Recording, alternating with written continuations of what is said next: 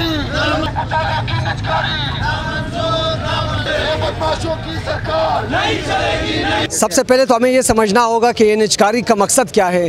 نجکاری خیبر پختونخوا میں M T I act چار سال پہلے لایا جا چکا ہے جس کے ثمرات اب آنا شروع ہو گئے ہیں۔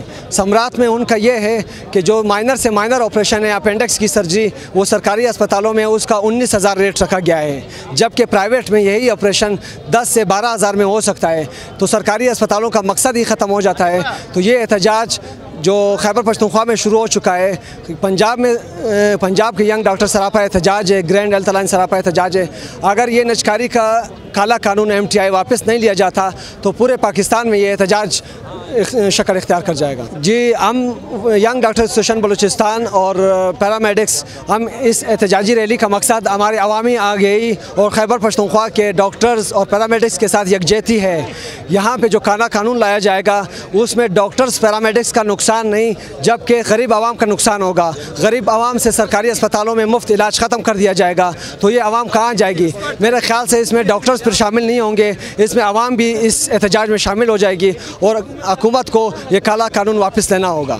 یہ خیبر پختونخوا کے ظالمانہ رویے دہشت گردانہ رویے، جو انہوں نے ڈاکٹرز پیرامیڈکس نرسز پر خیبر پختونخوا میں جس قسم کی دہشت گردی کی، وحشیانہ دہشت گردی انہوں نے کی ملک کی تاریخ میں، بلکہ پورے دنیا کی تاریخ میں ایسا مثال نہیں ملتا ہے۔ اس حکومت نے جو وہاں ڈاکٹروں پر مسیح پر کس قسم کی لاٹھی کی، کس قسم کے آنسو گیس کیے اور کس قسم کو ان پہ تشدد کیا اور ان کی جیلوں میں ڈالی۔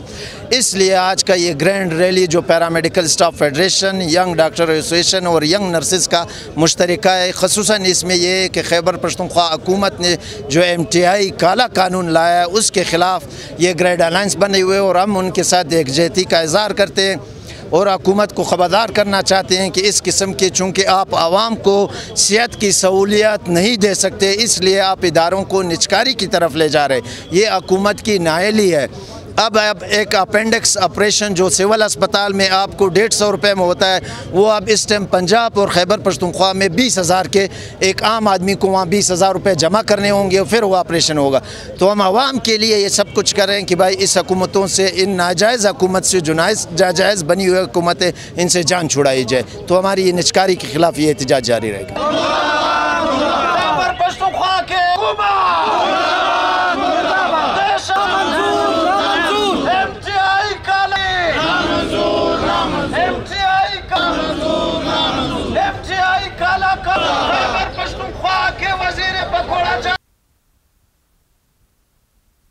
جا رہے ہیں، اس کی بھرپور مخالفت کریں گے۔